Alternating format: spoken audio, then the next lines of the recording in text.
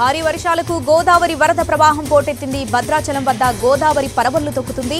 ఎగువ ప్రాంతాల్లో కురుస్తున్న భారీ వర్షాలతో భద్రాచలం వద్ద గోదావరి నీటిమట్టం అంతకంతకు పెరుగుతుంది. ప్రస్తుతం గోదావరి నీటి మట్టం ముప్పై ఎనిమిది అడుగులకు చేరింది.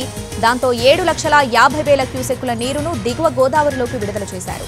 మరోవైపు దుమ్ముగూడెం పర్ణశాలలోని నారచీరల ప్రాంతం నీట మునిగింది.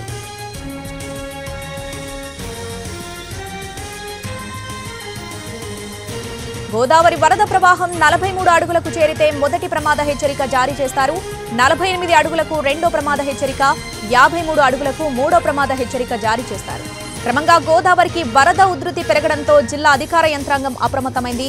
కలెక్టర్ డాక్టర్ ప్రియాంక అలా భద్రాచలంలో వరద సహాయక చర్యలపై అధికారులతో సమీక్షించారు. అన్ని శాఖల అధికారులు అప్రమత్తంగా ఉండాలని సూచించారు.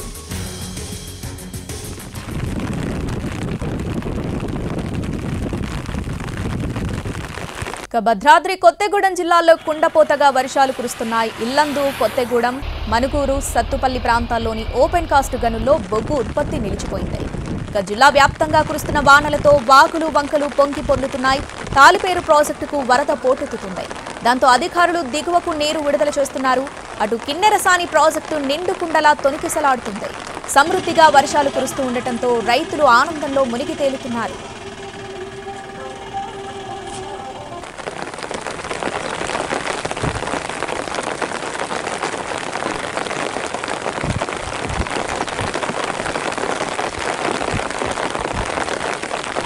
ఏలూరు జిల్లా పోలవరం దగ్గర గోదావరి ఉధృతి పెరిగింది.